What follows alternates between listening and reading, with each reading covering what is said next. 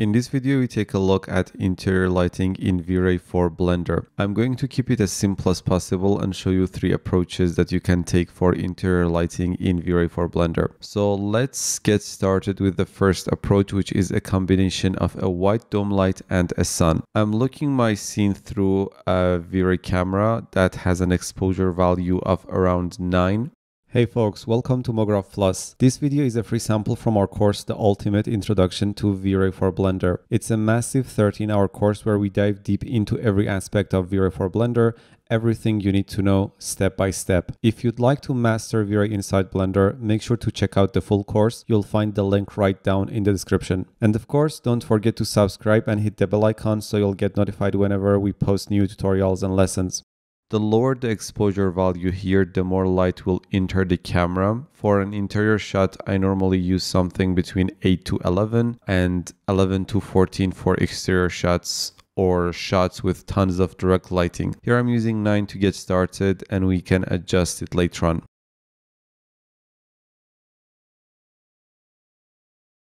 Also a V-Ray material with a light gray diffuse color with the RGB values of around 0.8 is assigned to all the objects in the scene. One more thing, if I open up the render settings and go to the GI or indirect lighting tab, as I previously mentioned, the primary GI engine is always brute force and the secondary GI engine is light cache, which has to be for interior shots or better to say difficult shots where we have a small amount of direct lighting and rely on indirect lighting or global illumination a lot because it is much faster compared to brute force mode. But when using IPR or interior rendering, V-Ray only uses brute force as light cache needs pre-calculation before starting the render. To make sure that IPR uses light cache, you need to enable this use light cache in interactive rendering checkbox.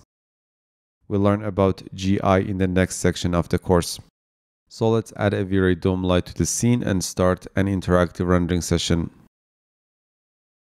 And again, we are using ACEScg as our color space. Obviously the scene is too dark and I know my camera exposure is in a proper range for an interior shot. So let's start increasing the dome light intensity to 3, 5, I would say maybe around 7.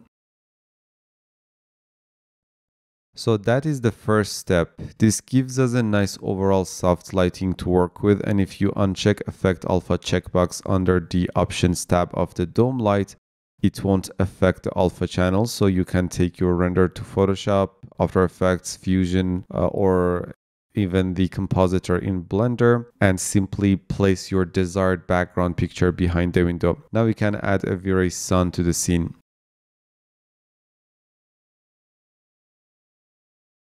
As we have the white dome light, we don't really need V-Ray sky.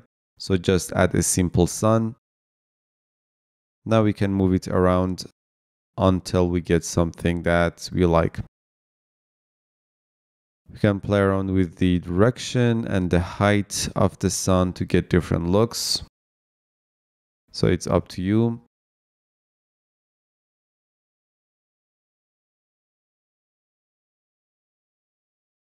The exact position of the sun would be 8.9 meters on X, negative 8.6 on Y, and 3.2 on Z.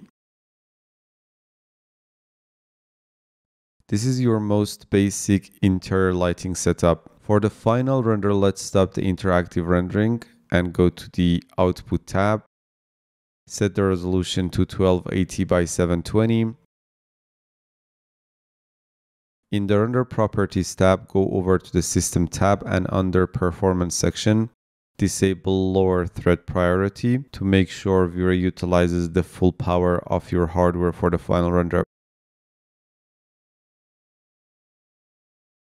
The noise limit can remain at 0.01 as it is a simple scene shading wise. Enable V-Ray denoiser with Intel Open Image Denoiser. Now we can start a final render. Now let me just stop the render and show you the saved render in the history panel.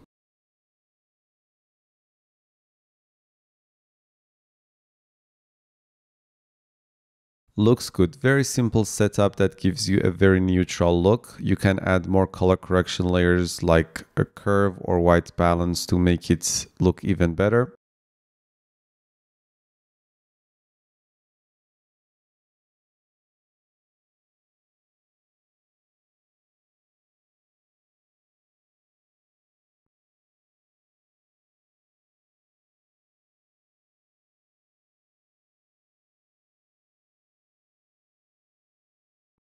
So that's up to you. Now move the V-Ray Sunlight collection to the lights collection. Let's create a new collection and name it first lighting setup. And put all the lights in it.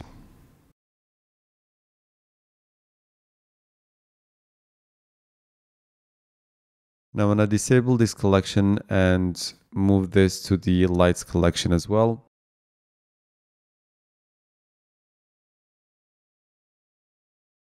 Let me enable lower thread priority again so we can have a bit more interactive UI and lower the resolution to 960 by 540.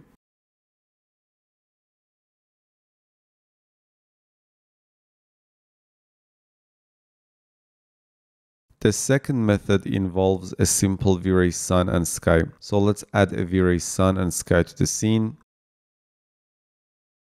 and start interactive rendering.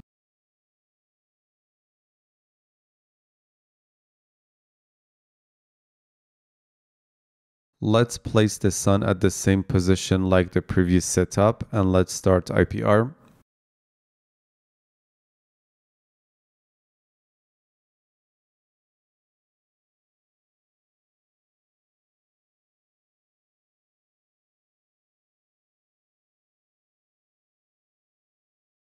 This setup results in a bit more colors and tones added to the render depending on where the sun is. Now, if I lower the sun a bit closer to the horizon, we will get a lot warmer, darker tones. I can go even lower. Maybe higher again, we can play around. So depending on where you place the sun, you can adjust uh, the camera exposure to compensate. So this setup gives you more flexibility compared to the previous setup. The V-Ray Sky colors definitely give you richer tones. You can simply replace this boring background with a much more interesting skyline or sky texture in post quite easily. And that's it. We'll skip the final render for this one. You can render it on your own. Let's stop the IPR, rename the new V-Ray Sun Sky collection to second lighting setup and disable the whole collection.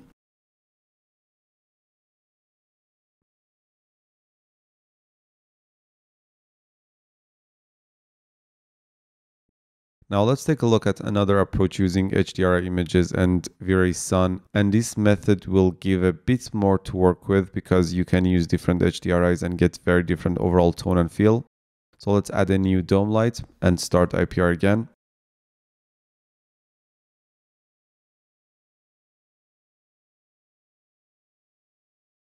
Select the dome light and in the node editor, click on use V-Ray light nodes.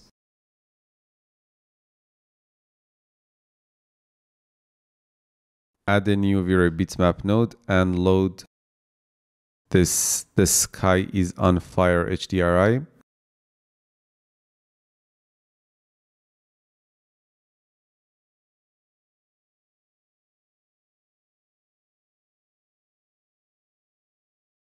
Connected to the dome color input of the light dome node. We can increase the intensity to 10 probably and rotate it 200 degrees on Z. So that's the results. And now we can introduce V-Ray Sun to the mix. Let's try another HDRI before that. And this time load this Sky Sunset HDRI.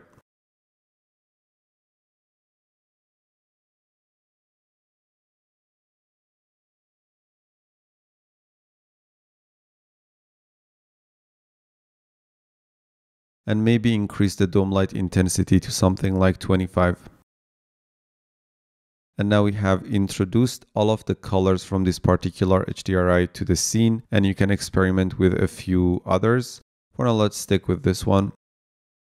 Uh, we can obviously rotate the HDRI and get different looks by each rotation.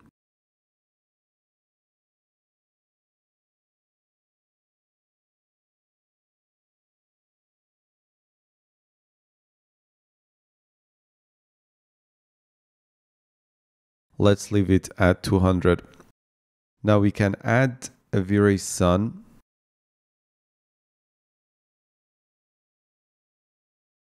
And from the front view, change the height of the sun.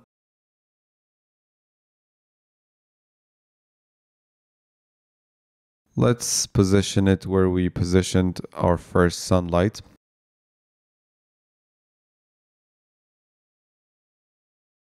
Can move it around if we wanted to. We can select the dome light and make sure it's invisible under the options tab.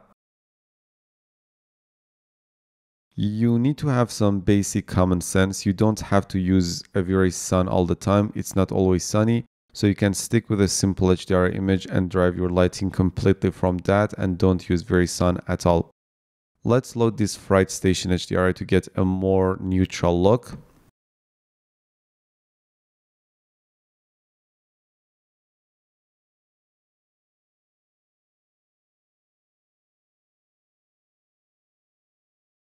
We can turn off the sun as this HDRI has a sun itself. And let's wait for a bit to see what we get.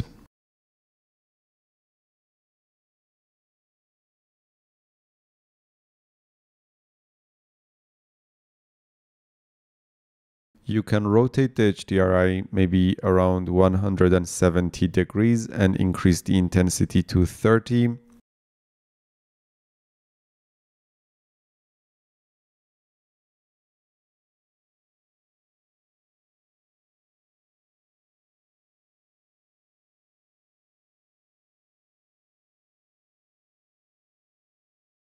We can color correct it a bit if you wanted to.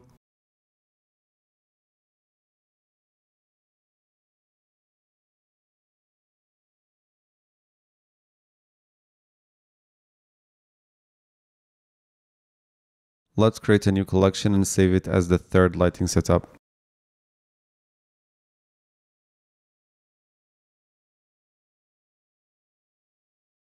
So in this video, we learned about interior lighting in V-Ray for Blender. See you in the next one.